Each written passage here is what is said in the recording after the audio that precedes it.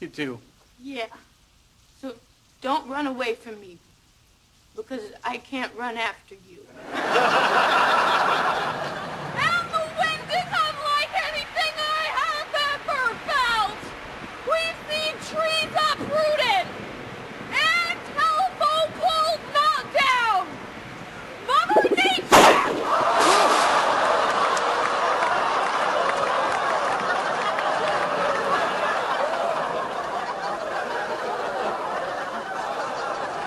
Oh no! Oh my god! We have to see that again.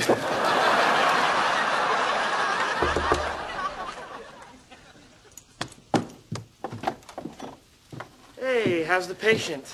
You know, you don't know how much sister you have until you sponge bath her.